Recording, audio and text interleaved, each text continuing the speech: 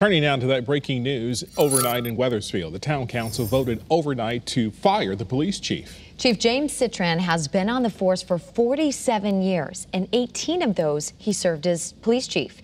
Now, a hearing was held last night after the chief rescinded his resignation. Channel 3 Eyewitness News' reporter Aya Galil is live outside the Wethersfield Police Department to tell us more about what happened. Good morning, Aya. Good morning, Wendell and Nicole. Yeah, and this all comes after the Wethersfield Town Council voted 6 to 1 to dismiss Chief James Cetran. It took them about six hours to get to this decision. This comes following months of turmoil between the chief and the town. A packed public hearing in Wethersfield Tuesday night as the town council debated whether or not to terminate Chief James Cetran. Cetran has been serving as chief for 18 years. The last several months have been turbulent. In November 2020, the town says it suspended Cetran for two months for insubordination or defiance of authority with an internal investigation.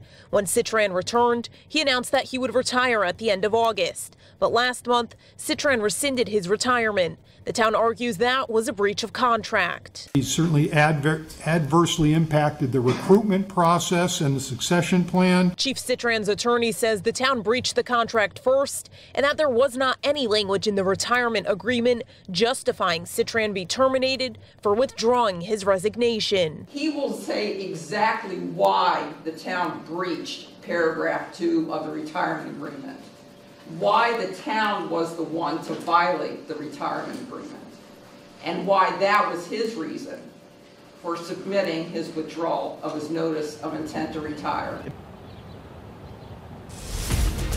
And the attorney for the chief says that they plan on appealing the town's decision. Now, they also add that the town council has not set a date for his dismissal. Live in Wethersfield this morning, Channel 3 Eyewitness News.